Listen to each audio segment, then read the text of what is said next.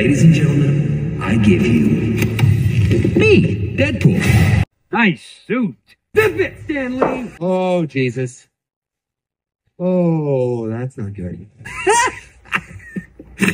it's time to go back. Back to where it all started. Wade, I'm supposed to be dead. What the hell is going on here? Well, realities are falling apart. And we're the ones who are going to have to fix it.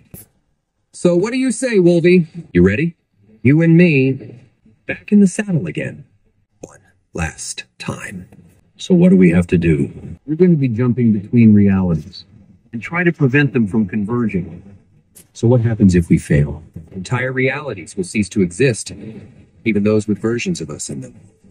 So it could be our end, or the beginning of something bigger. We'll see what the hell the writers come up with this time.